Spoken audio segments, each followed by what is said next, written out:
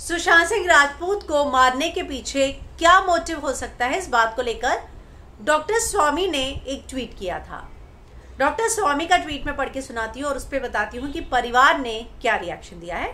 Doctor स्वामी ने लिखा था motive one for Sushant murder of Sushant is now clear he was too independent and too talented for the Bollywood cartel to ignore वो उससे compete तो नहीं कर पाए, इसीलिए उसे एलिमिनेट कर दिया मोटिव दूसरा जो है, वो बाद में बताऊँगा। It's a political but I need more research तो उनका ये कहना था कि सुशांत सिंह राजपूत को टैलेंटेड होने की सज़ा जो है, भुगतान करना पड़ा।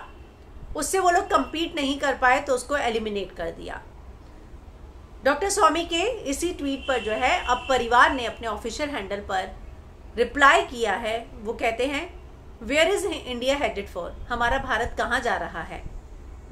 Of Sushant Singh Rajput being outstanding is die young heart wrenching Subramanian Swamy make sensational claim says motive one for S S R murder is now clear तो उनका ये कहना है कि भारत कहाँ जा रहा है? यहाँ यंग टैलेंट को बढ़ावा देने की जगह क्या यंग टैलेंट को मार दिया जाता है?